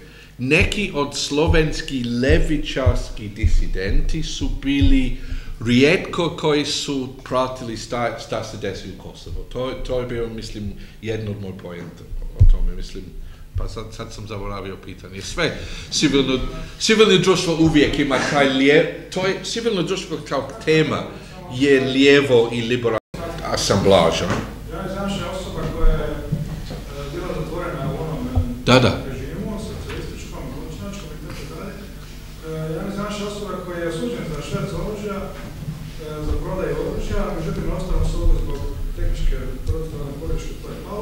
Da, da. Uglavnom, e, tu osobu smo mi, smo mi, cijelom društvo Slovensko je spašavalo njega, da bi on nakon toga napravio to što je napravio. E. Da li je on bio devijantan e, sada, kasnije, ili je bio devijantan već? Dobro. To ćemo dopustiti psikolozi. Ako mogu samo nešto kratko reći sa tom devijancijom. ok, meni je iznimno važno da, nadam se da, se to da je to razumljivo, ali mi je jako važno da, da ponovno posrtam. Znači, jedini razlog zašto razlažem tu tezu o devijantnosti je da je, da je dakle, mit bastom, dakle, da pokušam pokazati kojoj političkoj svrsi ona služi. Ona ima jasnu političku svrhu koja je e, ono elitistička i nedemokratska jer je inherentno konzervativna, jer kaže ovo društvo u kojem mi živimo je zatucano da oprostite za ostalo, ima kriva vrijednosti, egalitarno je paternalističko, sad se to onda nabraja i nabraja, sociološki podupire raznim anketama i tako dalje, ali koja je politička upotreba toga je da onda kažeš, e pa tu treba elite intervenirati, trebamo imati jedan, ono, baziran na ekspertizi, voditi ovo društvo u nekakvu bolju budućnost. I to je, e, dakle, politički zagovor top-down intervencija u društvu, to je nedemokratski, ne, to je ono s čime se opravdava u krajnjoj liniji proces europskih integracija, preko koljena, ne? znači nije bitno, ne? znamo da će biti gubitnika, ali to je pravi put i tim se putem ide. Ne? To je politička svrha toga. Ne?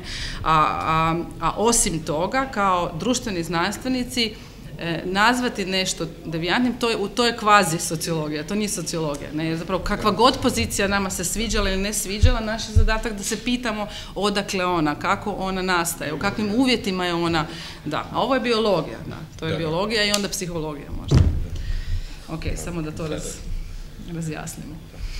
Fenomen Jugoslavije, e, ne znam, od početka ne znam, poslije e, kraja drugog svjetskog rata, pa ona industrializacija i pitanje modernizacije. Imamo više vrsta, vrsta modernizacije, tako.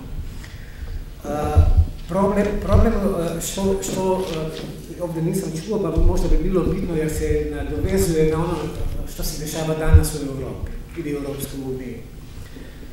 E, modernizacija, oziroma industrializacija nije išla svugdje svim republikama ili autonomnim pokrenima jednako kao, ne znam, e, u Sloveniji, na primjer, ili u Hrvatskoj, pogotovo u Sloveniji.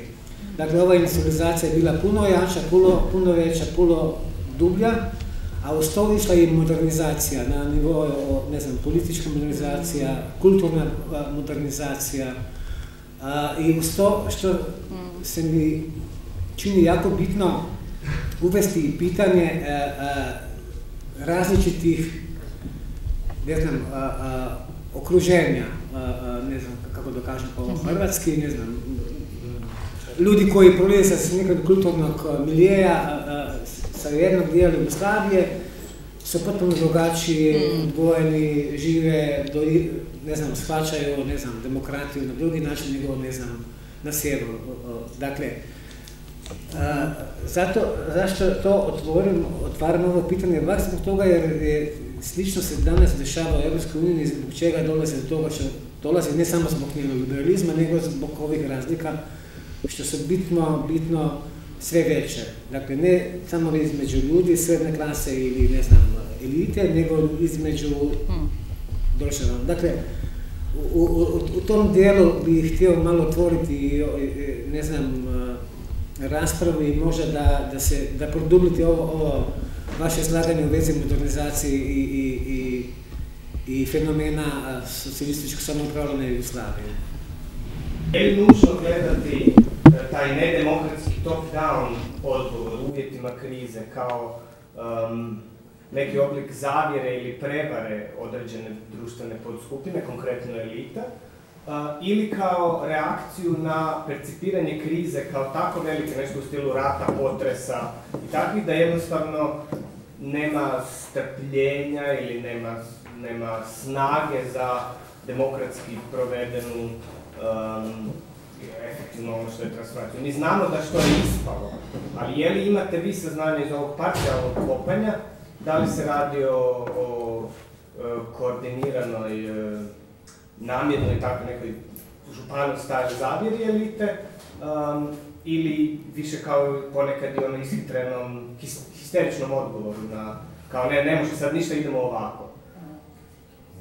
Dakle, pa ću prvo, um, ovo što je Mladen pitao, za, jer za ovo pitanje mogu samo se, se složiti, ne znam da li mogu sad nešto suvislo reći ne bi, dakle nije ideja da eh, ja ne, dakle ove teze koje sam pokazala, uh, kojima sam nešto rekla, ideja je bila možda malo obrazložiti zašto su utjecajne i u kakve dakle političke svrhe se koriste, ali nikako ne da je to neki tip ono namjernih, dakle široko koordiniranih pothvata. Dakle, ono kako vidimo odnose između akademskog i političkog polja je da oni svaki funkcioniraju za sebe, ali e, je, se i međusobno konstituiraju. Znači, u on, akademsko polje svojom nekom dinamikom generira teze i ono pokušava ih obrazložiti i tako dalje. I ovdje, ovdje ideja i od, od, još od Konrada i Selenija da, dakle, liberalna kritika postoji, dakle, počinje se razvijati i postoji još, ne znamo, 60-ih i 70-ih, a tek puno kasnije ona može, recimo, možemo je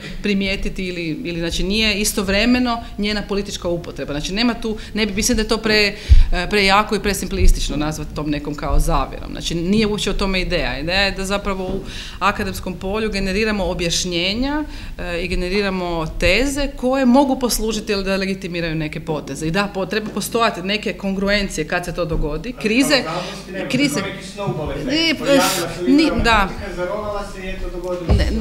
Ne, ne, naravno da nije tako jednostavno, ali krize su samo period u kojima se e, jako ogole argumenti, odnosno gdje više nema dijaloga jer se onaj E, dakle, neko cijelo vrijeme tvrdi da nema alternative, ali u periodu krize kad se zaoštravaju društvene nejednakosti, kad se hitno iznalaze neka rješenja, onda taj argument, ono, there's no alternative, recimo, bude puno snažniji i onda se kao mora se djelovati odmah, tako da dijelom, dijelom se tu slažem s ovim s ovim što si rekao. E, ovo što ste vi e, govorili, dakle, te, već ja mislim i drugi su čuli i već smo negdje se susreli s tim argumentima da je kao Jugoslavija je kao EU u malom u smislu toga da znači ako gledamo njenu povijest kroz dekade i te isto zaoštravanja možda i povećavanja razlike između republika u smislu nekog materijalnog razvoja i slično, da su tu bile neke zanimljive dinamike koje se sad vide između centra i periferije. Možda tu ima, možda tu ima prostora za, za neke usporedbe. Ja bih bilo samo rekla možda u ime ono panela da smo ovdje jako, dakle naravno da smo jako pojednostavljivali i govorili smo samo o 80-ima, ali smo se trudili. Jugoslavija je znači i jako različita s obzirom na republike, jako različito analizira 40. 50. dakle dekade i, i sve u tom, to sam htjela možda samo još naglasiti. Jako je, jako je pred jako teškim ste zadatkom. Ne znam na koji način e, zapravo možete e, sve nijanse onog vremena obuhvatiti. Ja nisam siguran ni u ovaj dojam koji ću ja sad, sad, e, sad reći kao svjedok jednog, na primjer, događaja koji se tiče ovih kulturnih razlika ovaj, između prvenstveno Slovenije i drugih republika. Naime, ja sam bio izvještač Radija 101 na kongresu književnika u Novom Sadu koji je bio vrlo kaotičan i tad je izgledalo da počinje raspad Jugoslavije. To mislim bi bila 86. godina. Ono što je, ovaj, ono što je mene tad iznenadilo, čega sam prvi put postao svjestan, je ovo što gospodin iz Slovenije govori, samo sam ga ja, samo sam ja tu situaciju drugčije protumačio. Naime, to je trebao biti emancipacijski kongres, kongres koji je trebao emancipirati neke vrijednosti tipa slobode govora, slobode okupljanja i takvih stvari. Možda negdje na marginama se govorilo o više stranačju. E, došle su delegacije Republika i pokrajina.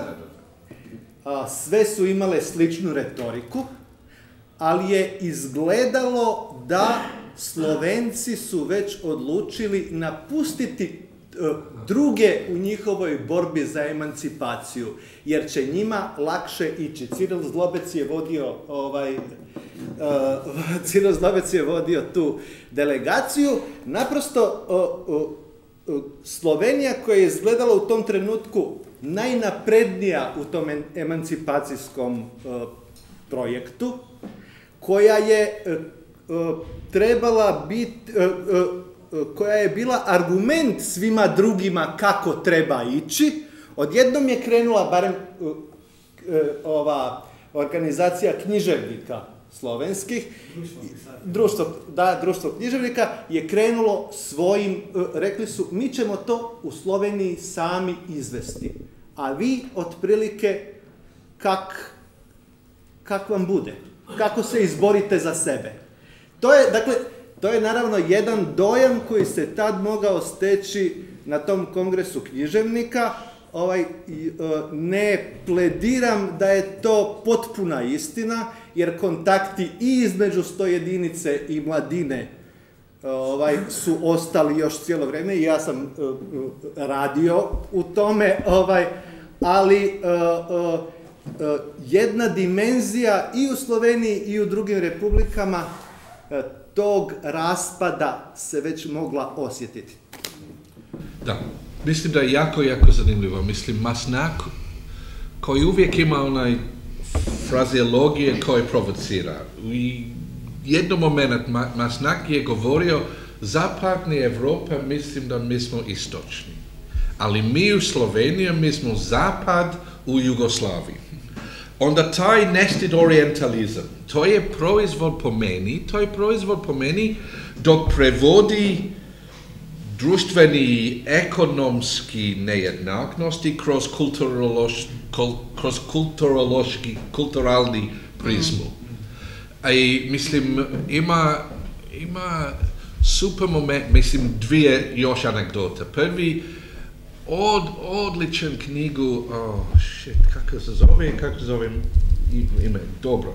Um, uh, Breakup of Jugoslavia, nema veze. On je radio sa mladina, on, on, on je englez. On je govorio sa Masnak i uh, Thompson, Thompson, Mark Thompson, Mark Thompson. Mm -hmm. On ide od Ljubljane do Subotica i Masnak kaže, sretno u istočnom dio i Mark kaže, a ipak su, Subotica je malo zapadnije od, od Ljubljana. Mislim, to je vrlo, vrlo zanimljivo. Tonči je govorio, ne znam, o neki sastanak a, Liga mladi komunisti Jugoslavije i, i nemogućnost zajednički ideološki prostor između ljudi, iz, mladi iz Ljubljana koji su izgleda kao punkeri i mladi političari u Crne Gore koji apsolutno su bili u partijski odjel.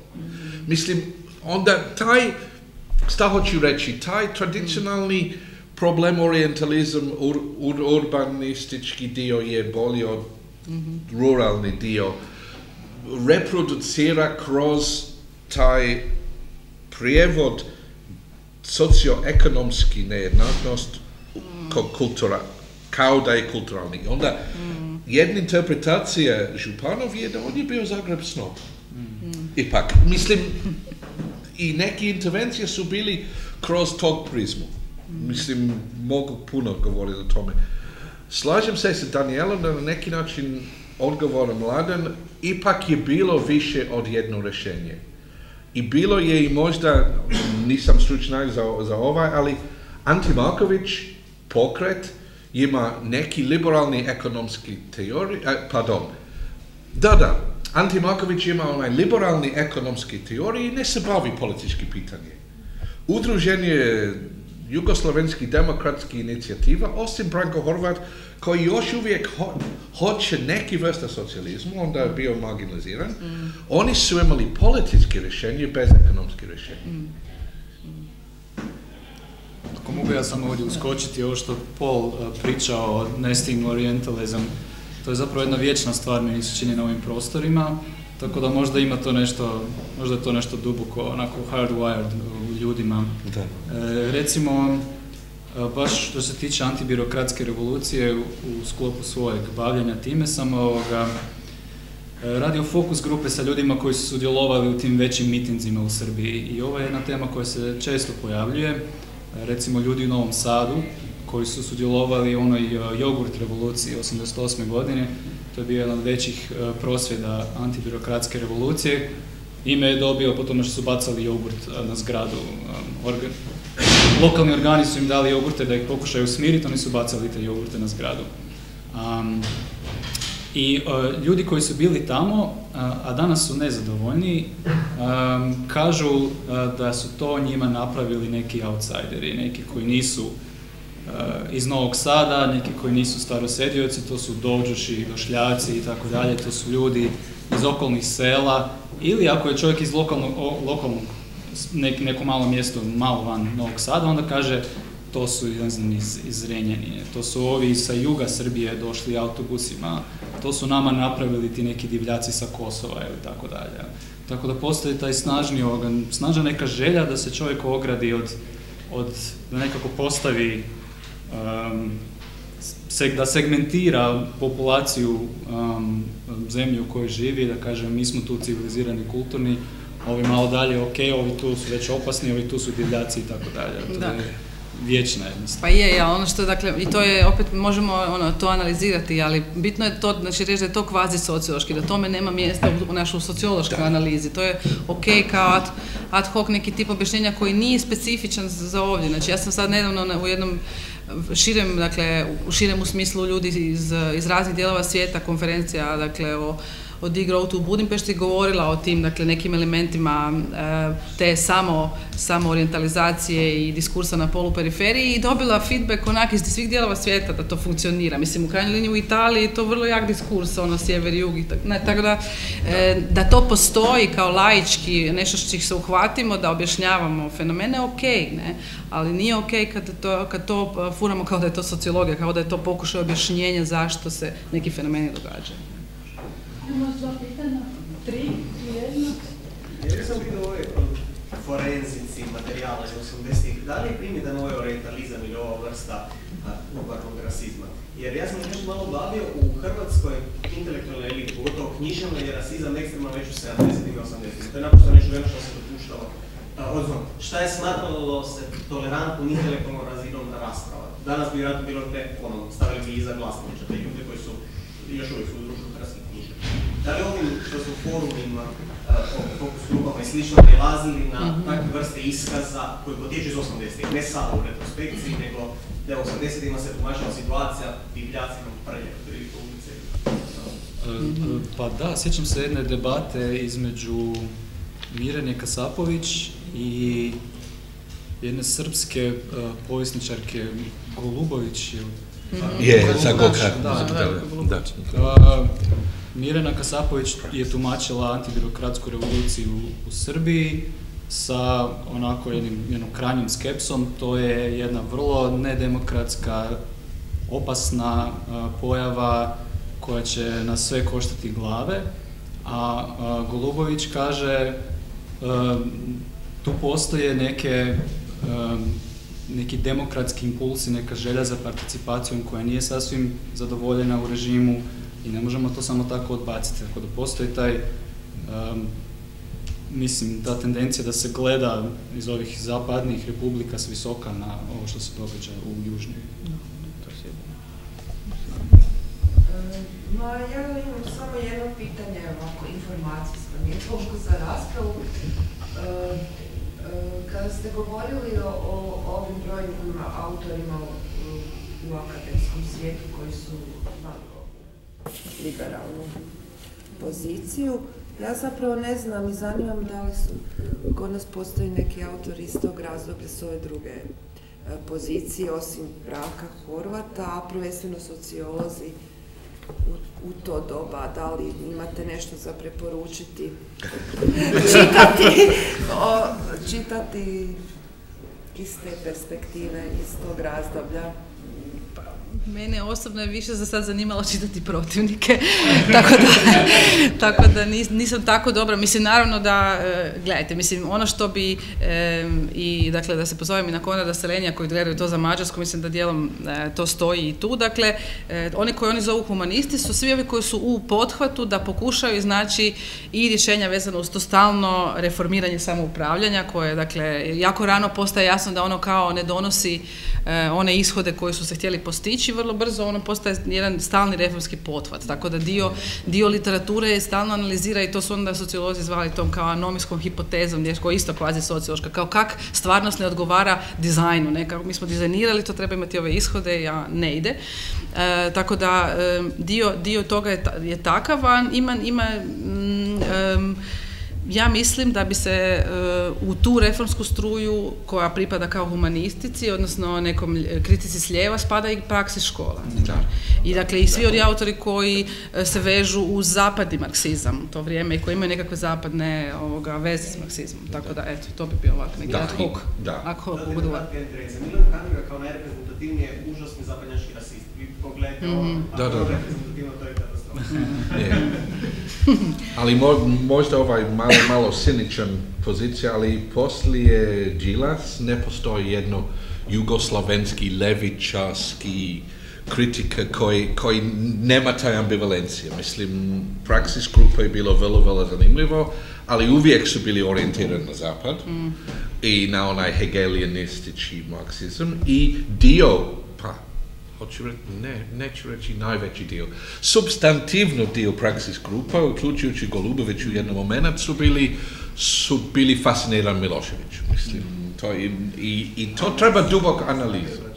Ne, ali zagrebački dio nije bio najveći dio, ali to je da, da, da. Ali rekla bi svakako čitati Branka Horvata. E da, apsolutno. I isti pešuva.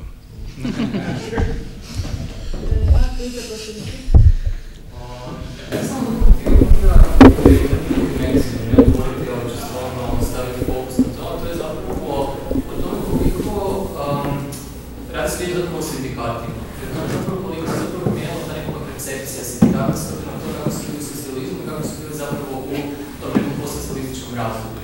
Jer ako zapravo pogledamo o tome, socijalizmu sindikati zapravo nisu bili percipirani kao nešto pozitivno. Oni su su zapravo za neki način kontrolu radnika, dok su štrajkovi bili zapravo ti koji su na neki način bili iskaz zadovoljstva radnika, pa je tako zapravo bila ta nekakva dikotomija. Kasnije, zapravo, dolaskom demokracije i demokratske tranzicije, ono što se događa je to da zapravo sindikati preuzimaju diskurs obrane radnika, zapravo niko se kritički, vjerovatno ti si nešto bio pisao o sindikatima pa, prije nekoliko godina, ali u svakom slučaju zapravo to nekakva, ne, nema kritičkog odnoga prema tome zapravo koliko stvarno sindikati baštine ono što je bilo primjerice u socijalizmu, koliko zapravo novih momenta imamo. Pa Zapravo, zapravo, vrlo zanimljivo bi bilo zapravo istražiti neki način to su štrajkova i sindikata, da danas percipiramo zapravo štrajk kao sinonim za sindikata. E, Pa mogu reći par stvari o tome ovako. um, um, mislim, u u pravu si, da, znači sindikati nemaju baš neku super pozitivnu povijest koju mogu baštiniti. A, u- međutim, naravno, to je nešto što varira od firme do firme, od regije do regije i ovisi o lokalnim okolnostima. Neki sindikati su mogli krajem 80-ih relativno brzo se transformirati i postati a, sasvim ovoga uvjerljivi među radnicima, legitiman um, organ koji njih- njihove interese zastupa, tako da a, to naravno ovisi o okolnostima u danoj firmi i tako dalje. E, Često je to išlo kroz radničke savjete jer su radnički savjeti bili puno manje predvidljivi, mislim mogli su radnici potegnuti neko pitanje i zakotrljati neku raspravu koja, je, koja se možda ne bi sviđala svima u upravi i slično. A, ti e, su imali tu dimenziju da su bili službena političko društ- društvena politička organizacija među ovim službeno popisanim šta smije uopće postojati od političkih e, organizacija i da su se onda tu zapravo vrtili ljudi koji su imali političke ambicije van kompanije u smislu ok, možda ću sad biti raditi u sindikatu godinu, dvije, pa ću onda ići u socijalistički savez, pa ću onda ići u partiju, pa ću ići u neki drugi komitet i tako Mhm. dalje, pa ću graditi karijeru. Mhm. A nisu bili orijentirani spram toga da zaista zastupaju radnike. I to je ovoga nešto što je dosta teško preorijentirati u neku super pozitivnu, um, super pozitivno nasljeđe.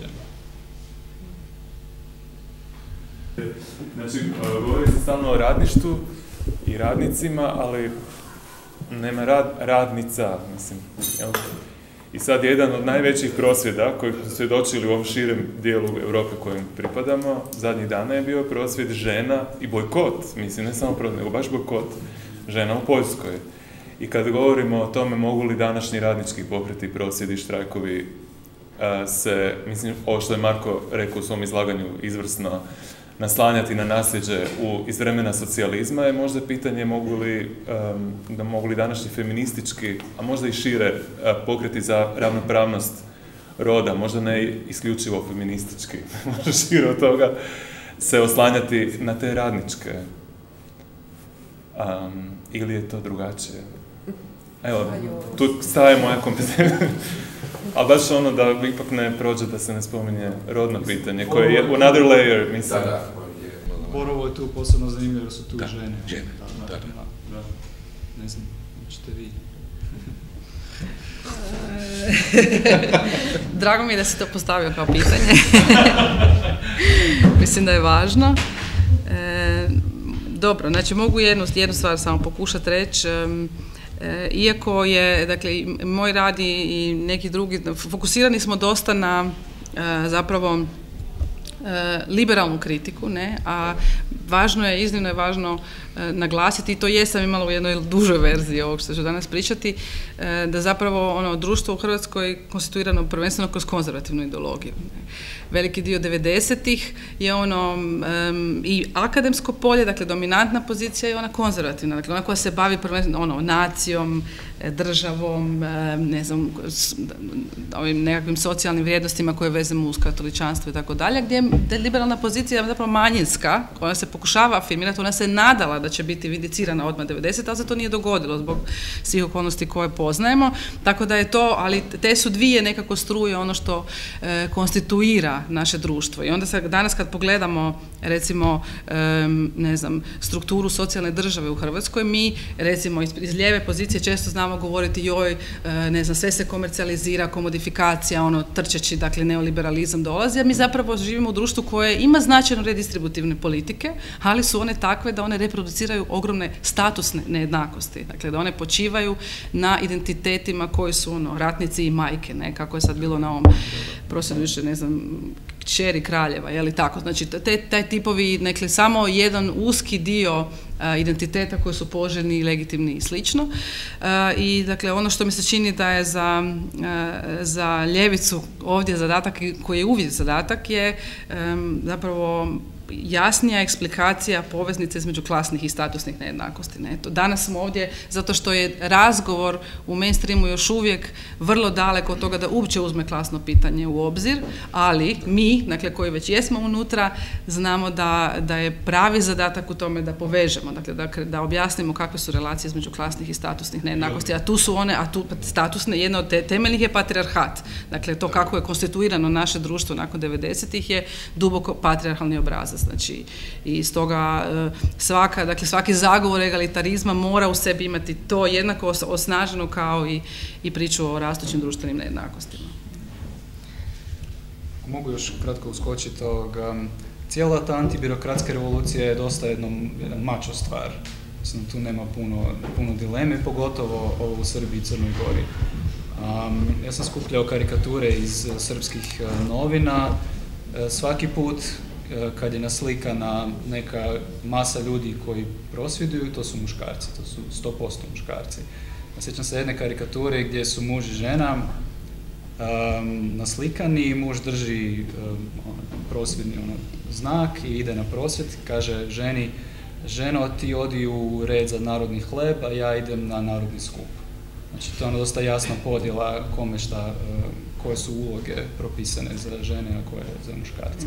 E, Pa nije slučajno da Županov je govorio o repatriarkalizaciji društva i meni se čini taj, ok, ta emancipacija žena u SFRJ bio ambivalentni, ali bilo je stvarno nešto zbog toga, ja sam sugerirao taj povezanost između feministički analiza socijalizma i analiza rad i, i radnička klasa, jer mislim žene i su bili radnici, mislim to je, to je to normalna stvar.